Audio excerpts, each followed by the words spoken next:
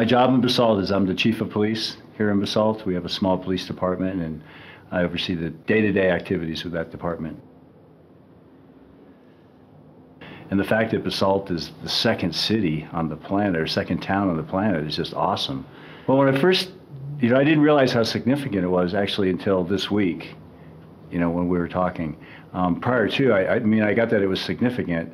I just didn't get the depth of it. On Earth Day, we had an event here at Town Hall um, for Charter Compa- for Compassion, and I, I, was just wishing, you know, a couple dozen of the businessmen I know in Basalt could have been there at that meeting to see how important this is, what we're up to, and and I was really excited that you know the children, the fifth graders, were driving this, and it was just like they were so enthusiastic, and, and all the adults around them were, were really enthusiastic, because I really believe in compassion. I mean, compassion is, you know, treating others with dignity and respect, and treating others the way we want to be treated. I mean, that's definitely the foundation of my life philosophy and my belief system, and uh, and I I think it could really help as it spreads out into the world.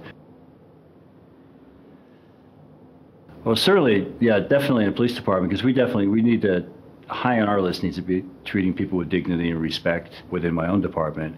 I know people are open to and receptive to um, because they see that there's there's there's power in it, there's strength in it, um, and you still stay very connected, and you can be compassionate in the midst of that.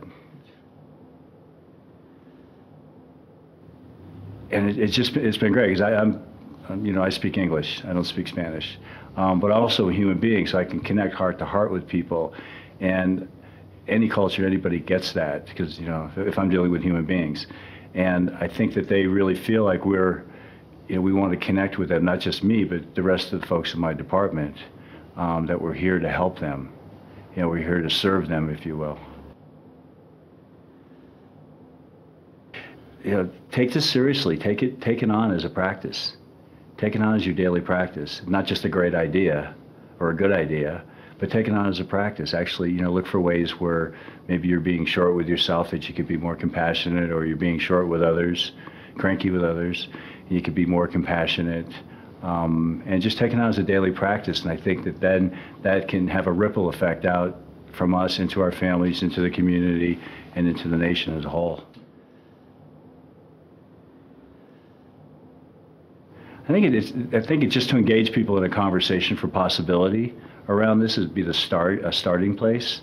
Because um, when you're dealing with human beings, you know, we, you know, as I read in Karen Armstrong's book, you know, 12 Steps to a Compassionate Life, it's like it, the compassion is that thread through all the major religions, and even, you know, even back into the Greek times, you know, with Socrates.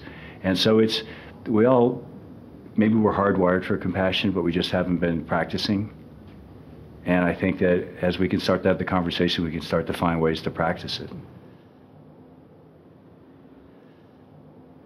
You know, this is a drop in a bucket and you know more drops will happen. More cities will become compassionate cities more towns more regions more states countries.